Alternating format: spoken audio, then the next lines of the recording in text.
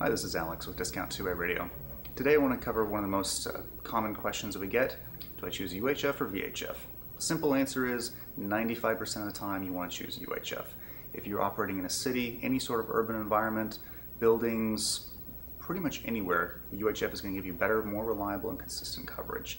The only time you'd ever use VHF is if you're out in wide open spaces, you're on a farm, ranch, uh, a very wide open rural area, you're going to get a little more distance in those circumstances. But even that, we often find that UHF even outperforms VHF in some of those areas. So again, simple answer, you're pretty much always going to choose UHF. Now the technical explanation of this and the way you can think about it, understand this, is that a UHF frequency is only about two feet in length. So that radio frequency is about two feet.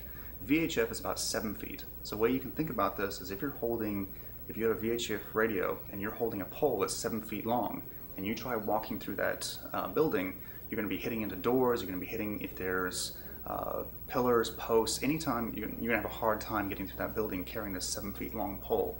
And so every time that frequency, that seven foot long uh, radio wave hits anything, it loses power. Whereas with a two foot long uh, frequency, a two foot long pole, you can walk through doors, gaps, windows, so it will penetrate through all those little spaces without losing energy. And that's why UHF outperforms VHF.